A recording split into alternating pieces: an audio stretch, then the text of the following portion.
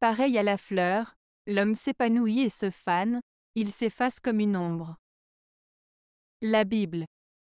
Cette citation fait référence au fait que comme une fleur qui fleurit et se fane, la vie de l'homme suit un cycle de naissance, d'épanouissement et de déclin jusqu'à la mort.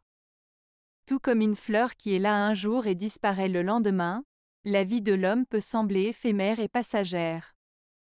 La comparaison avec l'ombre souligne que le temps est fugace et que la vie de l'homme peut être éphémère et fragile.